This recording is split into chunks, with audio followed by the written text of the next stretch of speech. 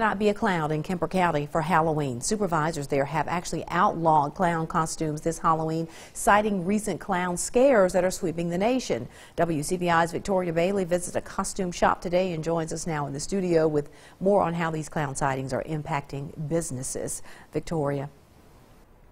Andrea, once upon a time, clowns were happy, nice, and fun. But thanks to the scary clown sightings being mostly spread through social media, people have a love hate relationship with the classic character.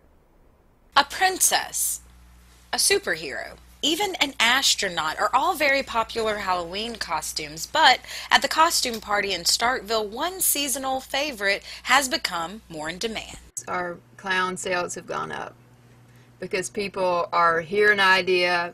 People sometimes need help with an idea, so they hear that it's in the news, so they say, "Hey, you know, I'm gonna, I want to be a trendy clown." Amanda Slaughter, who paints faces for local events in the community, says she hasn't had to paint a face like this one in a while. So much madness has happened around this at, even the people that do really want to be a clown. I have a regular customer that comes and gets his face painted every Halloween that really enjoys being a scary, gruesome clown.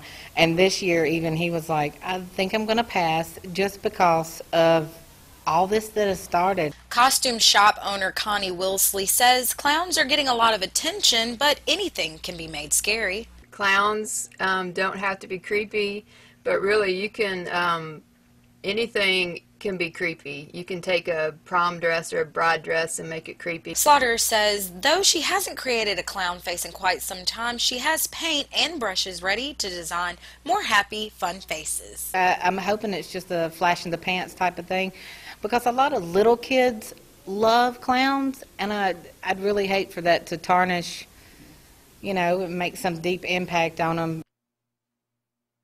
Now, as far as we know, no other counties have placed a ban on clown attire. Andrea?